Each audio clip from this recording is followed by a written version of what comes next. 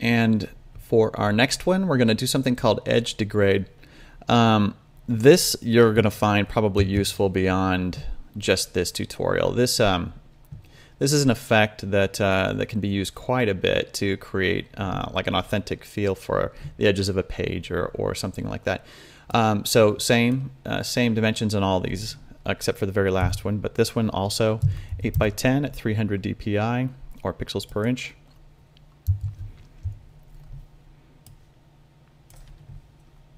Move it over here. Okay, so this one uh, we want to select all. So you do that by Command A. So it selects your entire canvas. Now over here um, with your, your color picker thing, um, or your foreground and background color I should say, uh, you want your foreground color to actually be black. So hit this uh, arrow right here and it'll just switch colors or X does the same thing.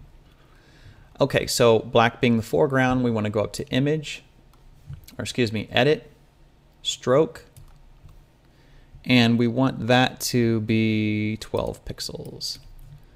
And we also want it to be set to inside here. So that should just basically give you a border like that.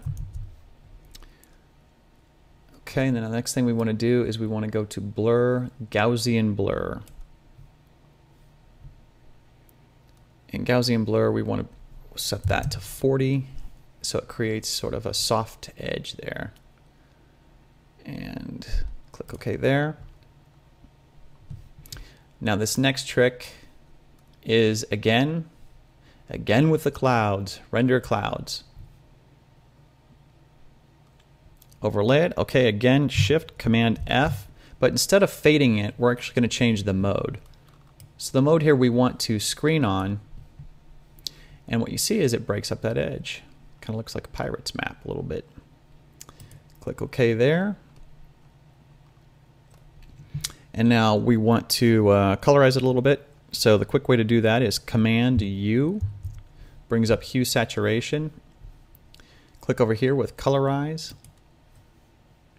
And we want to change the hue to 50, so make it kind of a yellow. And we want the saturation to be 20. And that should do it. Okay.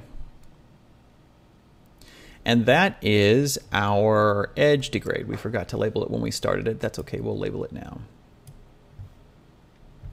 So this one we want to call edge degrade.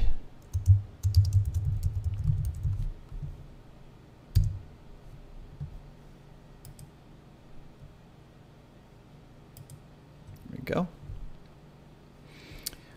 Okay,